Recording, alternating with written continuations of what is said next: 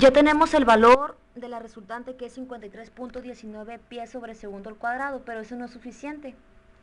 Necesitamos la dirección del vector R.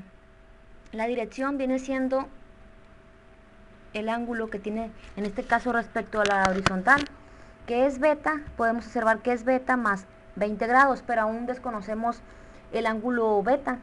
Para eso vamos a aplicar la ley de senos, que es igual a lo siguiente, seno de beta entre el ángulo entre el lado opuesto que es B es igual a seno de 95, es decir, este ángulo conocido entre el lado opuesto que es R. Se podría utilizar también el ángulo alfa si lo conociéramos, pero como no lo conocemos no nos sirve de nada.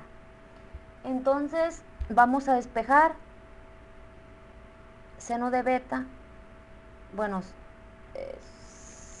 seno de beta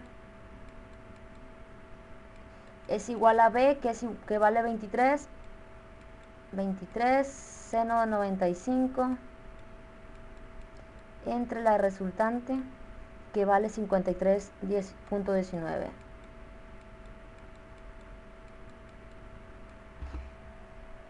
Si multiplicamos 23 seno de 95 entre 53.19 es igual a 0.4307. Lo voy a poner aquí. Es igual a 0.4307.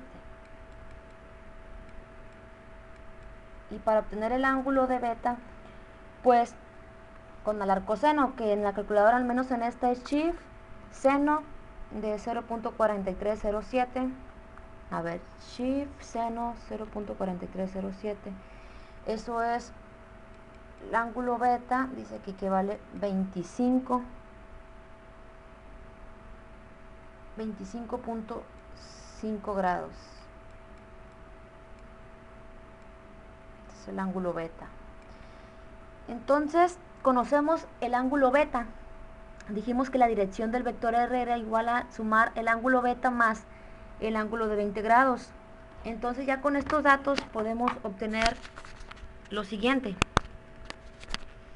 Como dije que el ángulo beta vale 25.5, entonces la dirección es 25.5 más 20, que es 45.5. Quiere decir que el vector R, este vector R, tiene una magnitud de 53.19 pies sobre segundo al cuadrado y una dirección de 45.5 grados.